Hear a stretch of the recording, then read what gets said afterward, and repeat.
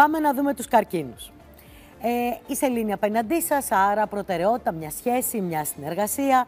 Η γεννημένη του τρίτο δεκαήμερο, ε, όσοι έχετε γενέφλια δηλαδή μετά τις, ε, χοντρικά μετά τις 10 Ιουλίου, μπορεί σήμερα να, να έχετε ίσως μια σημαντική συζήτηση να κάνετε.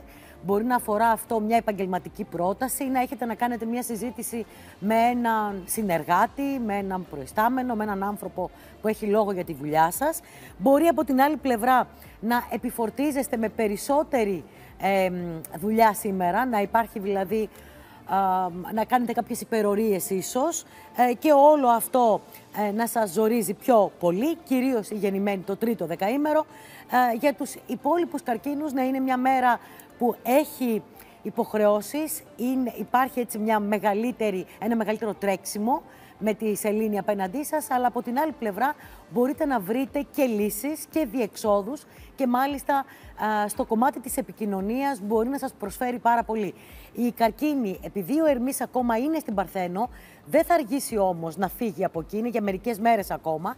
Κοιτάξτε, στο κομμάτι της επικοινωνίας, ειδικά αν πρόκειται για βασικά θέματα, πρακτικά θέματα, να αξιοποιήσετε αυτές εδώ πέρα τις μέρες που θα σας ε, βοηθήσουν τέλος πάντων να βρείτε πιο εύκολα μία λύση.